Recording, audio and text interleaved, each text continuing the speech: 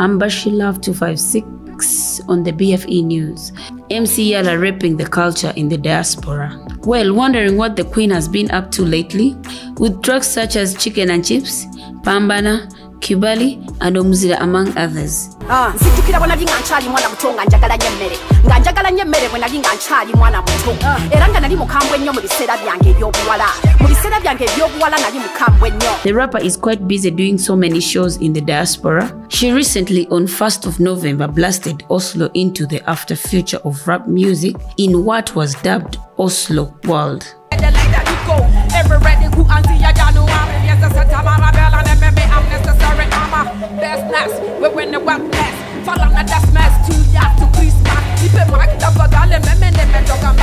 She was alongside Debmaster and DJ Nefertiti.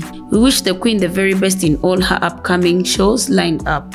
You can tell us what you think about MC Yallah in our comment section and subscribe to our YouTube channel.